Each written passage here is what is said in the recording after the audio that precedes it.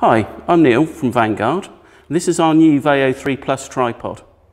The most important thing about this tripod is the sheer build quality. Everything you can see on here that's metal has been machined down from a larger piece of metal to make it as strong as possible and as light as possible. Even the parts that you can't see have been machined so perfectly that they have a mirror finish. So everything on here moves as smoothly as possible too.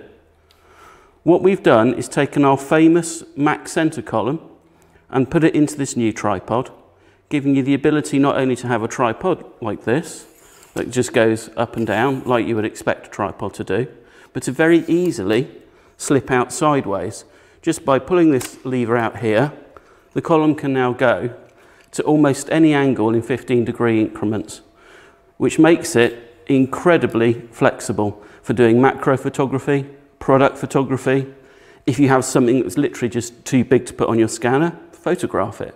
This means the tripod can do a lot more than just a standard portrait or long exposure.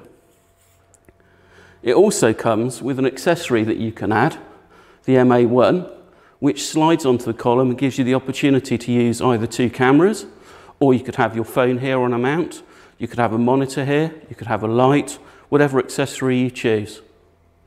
To put it back, it very simply extends to the end and just drops back in. It really is that easy.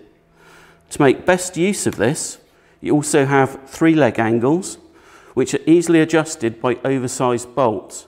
You can also see that everything on here is oversized, so you can use it with gloves on or with much larger than my diddy little hands. And you have three leg angles, so the tripod literally can be flat to the ground. As I have hold of this leg, we also have another feature that we've added in, which is a monopod facility. You simply unscrew this, this comes off, and you can then add the center column very easily to it to create a monopod that's not a little accessory, it's a full-size working monopod that is taller than I am. So should be fine for pretty much anybody. As I'm holding the legs, I will also just point out that we have twist locks the twist locks that we use have a very, very quick action. They are a simple half turn and that's open and half turn to shut it again. So the tripod can be set up and put away in moments. They are also designed for you to take off completely if you need to clean them after using them in the sea or in mud or something. And they're very, very simple to do. You can also tighten all of the bolts very easily with tools that we provide. In the field maintenance is really simple. We also, as a brand, like to supply our tripods complete. So as well as having the rubber feet, which I shall just get down to, these come off and we supply spikes, which are stainless steel, so won't corrode. Not, you don't have to buy them as an accessory. And lastly, you also get a very, very high quality, nicely designed, well-made padded bag. This would be a 50 or 60 pound accessory in most circumstances.